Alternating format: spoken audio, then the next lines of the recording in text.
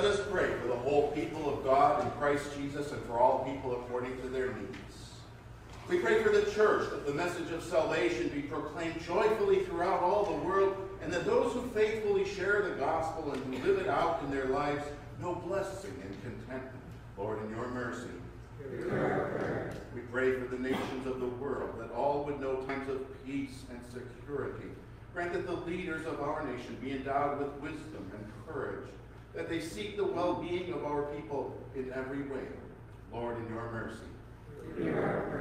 We pray for all workers in the church, asking the blessings of holy wisdom and heavenly grace to all pastors, deaconesses, and teachers.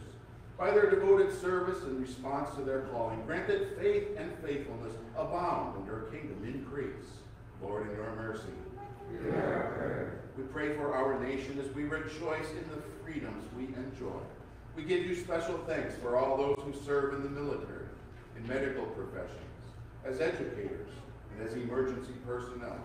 Grant that we live out our citizenship with dedication and gratitude. Lord, in your mercy.